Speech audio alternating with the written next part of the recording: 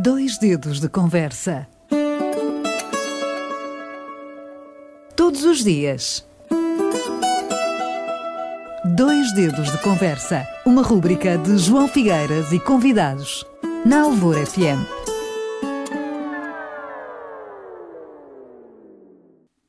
Para hoje contamos com o desporto numa colaboração já habitual do nosso jornalista Armando Alves. Eh, para hoje, Armando, quais são os temas aqui a, a tratar? Olá, uh, olha, podemos começar pelo, pelo derby entre uhum. o Portimonense e o Farense, que uh, disputou há poucos dias e que uh, teve uma assinalável moldura humana. Exato, muita exato. gente de que se deslocou a Portimão, um ambiente muito saudável uhum. fora das quatro linhas e também dentro de, das quatro linhas.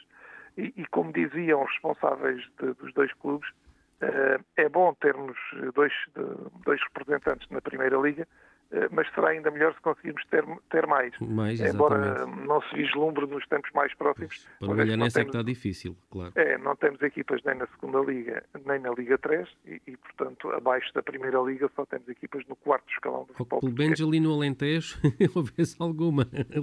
De Évora, ou coisa assim do género. Eh, eh, já surgiram alguns projetos ali no Alentejo, algumas cidades que foram criadas, mas desapareceram tão rapidamente quanto, quanto apareceram.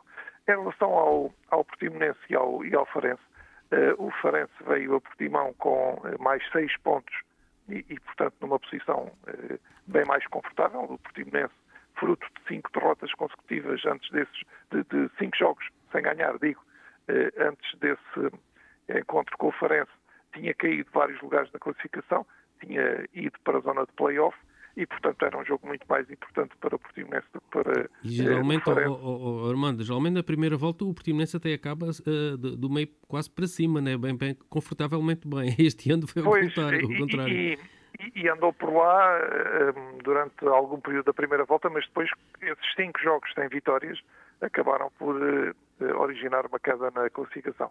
Uh, o, o Farense, como eu disse, estava mais confortável, mas a verdade é que o jogo acabou por pender para o Portimonense com um penalti e, e depois com o Farense não encontrar argumentos para, tendo mais bola, conseguir uh, ferir uh, a equipa do Portimonense e o resultado acaba por uh, corresponder de alguma forma àquilo que se passou em campo e, e, colocando também o Portimonense um pouquinho mais desafogado, ali com um alívio maior em relação aos lugares de Xira e aquilo que se deseja é que no final da época, tanto o Portimonense como o Farense garantam a permanência na Primeira Liga importante dizer também é que, e há um jogador agora que está aí muito, muito na moda, muito na berra, que há, há, há mais, para além do Portimonense e, e, do Farense, uh, há uh, mais representantes algarvios na Primeira Liga.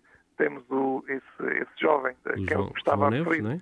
que é o João Neves do, do Benfica, de Tavira, embora descendente de uh, alentejanos, curiosamente, o pai é de Serpa, é polícia em, em Tavira, uh, e, e, que está, de facto, a rubricar uma época uh, excepcional na sequência daquilo que fez uh, na época passada e a chegar à seleção lá com, com, todo o mérito e acreditamos que vai, vai ser uma futura mais-valia para, para Portugal, inclusive já no próximo campeonato, na fase final do próximo campeonato da Europa.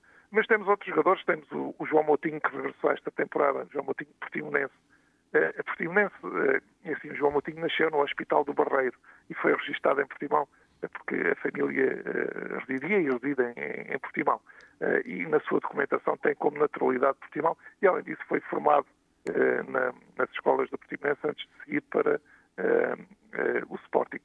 E, eu dizia que o João Moutinho também regressou. Temos também o Ruben Fernandes Gil Vicente. Gil Vicente. O Ruben, uhum. o Ruben que fez parte da seleção da primeira volta. Eh, foi um dos centrais. Este fim de semana para... vai jogar a Portimão, não é? É verdade, vem, vem, vem a casa. Ainda há poucos dias, eh, curiosamente, eh, o calendário assim o ditou, ele esteve em Faro, Faro porque o Farense jogou com o Gil Vicente. E agora volta a casa, ele que fez todo o seu percurso de formação no Portimonense, jogou a sénior e a profissional no Portimonense e depois andou aí para outros clubes, pelo Varzim, pelo Estoril, pela Bélgica, e, agora está já há vários anos eh, no Gil Vicente. Isto para dizer que temos eh, muito, muita gente de qualidade. Temos também muitos e muitos jogadores do Algarve, não vou aqui estar a referir-me exaustivamente a todos eles, porque são de facto muitos, nas equipas de sub-23 do Benfica, do Sporting, do Sporting Braga. Temos também muitos jogadores nas equipas júniores e juvenis de grandes clubes naturais aqui do Algarve. E, e portanto, o, o futebol algarvio, nos últimos anos, nas últimas épocas, tem dado muita gente de qualidade aos principais clubes do país e, e, portanto, aquilo que nós temos agora, que é, digamos, um, uma espécie de render da guarda na seleção entre o João Moutinho e o João Neves. O João Moutinho, como se sabe, nos últimos jogos da seleção já não foi convocado e apareceu o João Neves. E há ainda uh, o, o, Gonçalo Ramos, que está uh, no Paris Saint-Germain e que também tem marcado aparições regulares na, na, na, seleção. Eu acredito que daqui a mais três, dois, três, quatro anos vamos ter, em vez de um ou dois jogadores do Algarve na seleção nacional lá, vamos ter quatro ou cinco, porque temos, de facto, jogadores de muita, muita qualidade.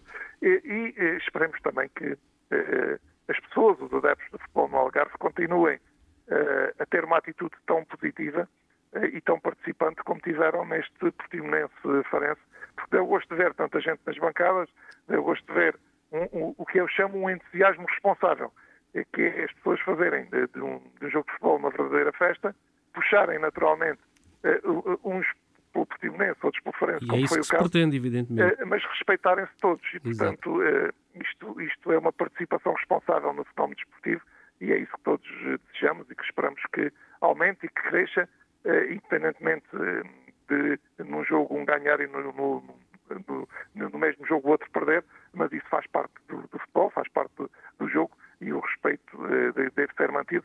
Aliás, no último eh, Portimonense Farense houve até a participação física de, das forças de segurança com cerca de 500 eh, agentes e militares das forças de segurança presentes que cantaram por várias vezes o, o hino nacional, nacional num, num, protesto eh, eh, que foi levado para, para um campo de futebol e que eu particularmente não, não levo a mal, desde que não seja nada de, de insultuoso, e, e não foi, eh, e, e, portanto, eh, também isso, de alguma forma, eh, acabou por constituir um, um atrativo, porque a primeira vez em, em que os polícias e os militares cantaram o hino nacional, muita gente não sabia exatamente o que é que estava a passar no estádio. Os menos informados foram apanhados um bocado de surpresa. Mas é foi verdade, uma é atitude é inteligente das forças de segurança, realmente. Sim, e também responsável, porque uh, em vez de levarem bandeiras e aquelas frases e aquelas coisas que, que uhum. Muitas vezes costuma aquelas eh, frases contra o governo, contra isto, contra aquilo, foi, foi uma atitude mais, mais responsável, até, digamos, patriótica. E nunca um jogo e... de futebol, especialmente com o Portimonense, teve tanta força de segurança junta, não é? É verdade, é verdade. Estiveram, estiveram só naquele, naquela parte da bancada, estavam ali seguramente mais de 300 pessoas, uh, e naturalmente que alguns seriam familiares de polícias e de agentes de segurança, mas seguramente terá sido das maiores concentrações de forças de segurança eh, na, na, região do Algarve. Estivemos todos bem guardados, uh, o espetáculo foi interessante, a participação das pessoas foi extremamente responsável e, portanto, o futebol algarvio está, de facto, parabéns neste início de 2024 e esperemos que lá para maio, quando o campeonato terminar, haja também de um lado e de outro, do Portimonense e do Farense, motivos para todos sorrirem com os objetivos alcançados. Exato. Olha, foi um gosto em ter-te aqui em Dois Dedos de Conversa. Até uma próxima. Obrigado. Obrigado. Dois dedos de conversa. Todos os dias. Dois dedos de conversa. Uma rúbrica de João Figueiras e convidados. Na Alvor FM.